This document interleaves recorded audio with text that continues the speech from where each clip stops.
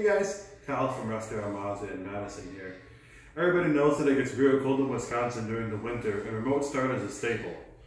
But it's also been unseasonably warm this summer. Luckily, every new Mazda comes equipped with the My Mazda mobile app. And from this app, you can both start and stop your car from your phone, from either your office or your home, just by pressing and holding here. The app will notify you that the request has been sent and we'll let you know when the car has been started. We'd love to see you here in person so we can talk about it more in detail. Stop by soon.